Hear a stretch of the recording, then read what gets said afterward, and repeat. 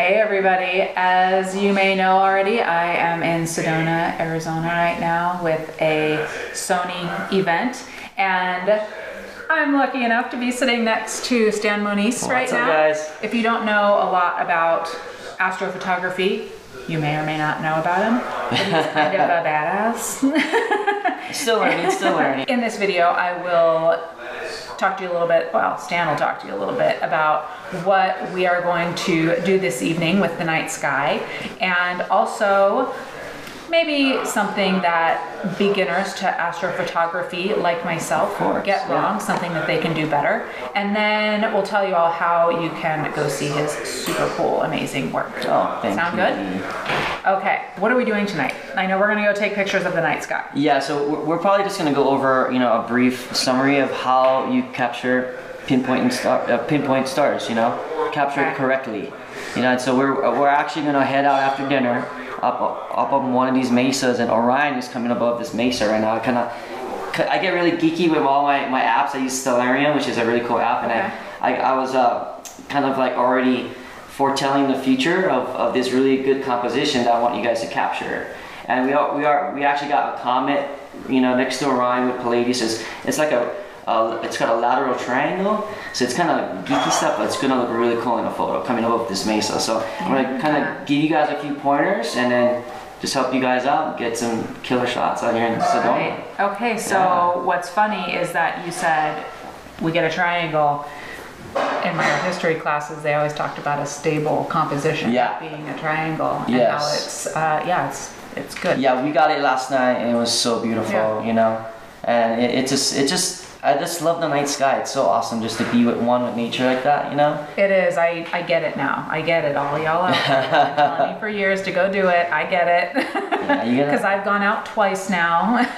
and okay, so I'm excited that we're going to learn how to get the focus Yeah, right because yeah. that is that was touchy for me. Yeah, it's you know, astrophotography is not you know rocket science. I mean, learning about the space that's that whole different story, the stars and stuff. But it's a very easy, you know, um, it's it's a discipline to learn. You know, if you, you know, I do a lot of workshops and stuff, and I think my my um, my strong point is actually carrying it, carrying the knowledge over in the easy way. You know, I don't, I don't like. Definitely. I can get really techy if you want me to, but you know, I've learned through time to kind of explain it simple because people just like to get right to the point. You know, how do I get these Mm-hmm. We wanna take the pictures. Yeah, exactly, right? Because you, you only have so much time in the night.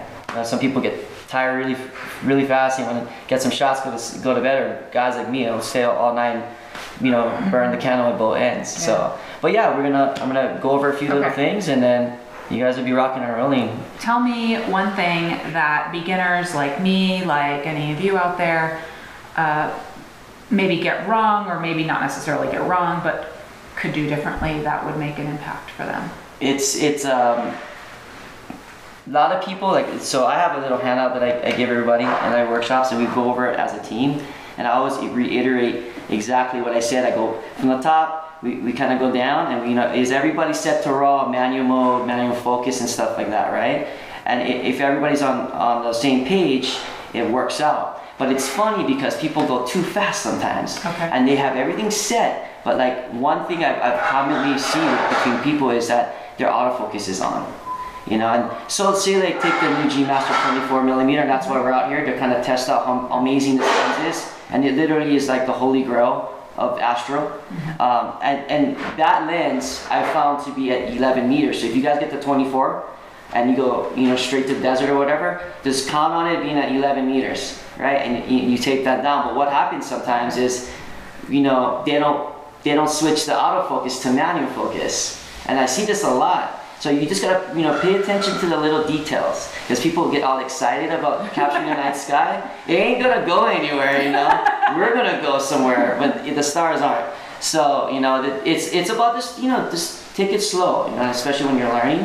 Okay. You know, that's it. And it's really cool with the Sony cameras is, I set your guys' cameras up today, is that you can set up all the settings and you can set it to a scene. And that's what I do.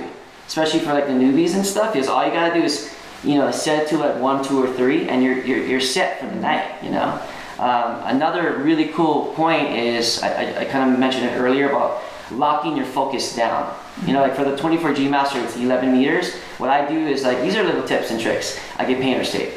Paint, you know, tape it down, boom, lock it down, you're good for the rest of the night. Because I do a lot of time lapse photography, and you know how many times I've, I've blown it so hard where like I thought the focus was set, and I go away for two hours, come back and find out that my focus was a tiny bit off. You know what I mean? Worse. So it's really good to like once you find that that sweet spot and you get that point of light, lock it down with tape. You know, and it, and it won't leave any residue. It's just all those little tiny things. Yeah. You know what I mean? What a yeah. simple solution. Super easy. it. Yeah. Um, go to Home Depot. Yeah. Exactly. I have painter's Okay. tape for everybody, so Okay. it's all good. Okay, so go slow. Yeah. I get that, even though I don't always follow that. Yeah. Thanks so much for Yeah. doing the cameras and for sitting down with me and with us. And so I'm sure they want to see more. Yeah. I want to see more. Okay. Where do we go?